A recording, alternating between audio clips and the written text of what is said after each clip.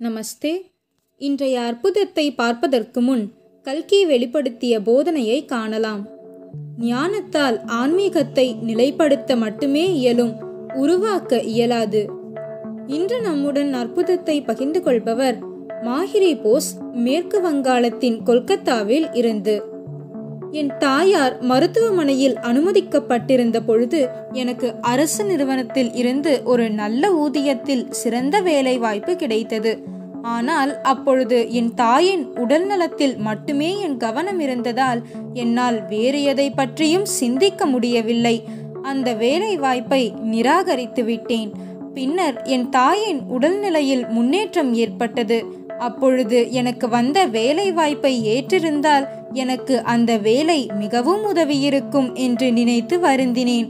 எனக்கு மற்றொரு வாய்ப்பு அருளுமாறு என் அன்பான கல்கியிடம் பிரார்த்தனை செய்தேன். சில நாட்கள் கழிந்து நான் மிகவும் ஆச்சரியப்படும் வகையில் மற்றொரு அரசு நிறுவனத்தில் இருந்து அதே போன்ற வேலை வாய்ப்பு கிடைத்தது. இது எனக்கு கல்கி அருளிய பிரம்மாண்டமான அற்புதமாகும். கல்கிக்கு என் அன்பையும் நன்றிகளையும் கூறுவதற்கு வார்த்தைகளே இல்லை. மற்றொரு அனுபவத்தை பகிர்ந்து கொள்கிறேன். நான் எப்பொழுதும் அணியும் தங்க காதணியை தொலைத்து விட்டேன். என் அறை முழுவதும் முக்கியமாக என் படுக்கையில் மற்றும் ஓரங்களில் எல்லாம் தேடிவிட்டேன். குளியல் அறையில் விழுந்திருந்தால் திரும்பி கிடைப்பது கடினமாகிவிடும் என்று அஞ்சினேன். மிகுந்த கவலையில் ஆழ்ந்தேன்.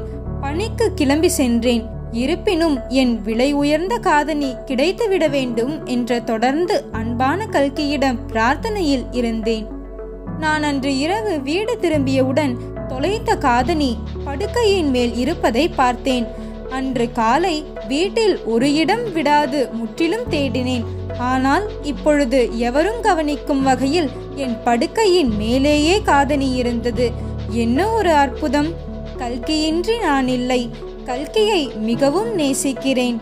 இந்த பரம சைத்தன்யத்தின் அனுக்கிரகமும் ஆசீர்வாதமும் இன்றி ஒரு நொடி கூட வாழ முடியாது. அற்புதங்களை பகிர்ந்து கொள்ள வாய்ப்பளித்ததற்கு நன்றிகள்.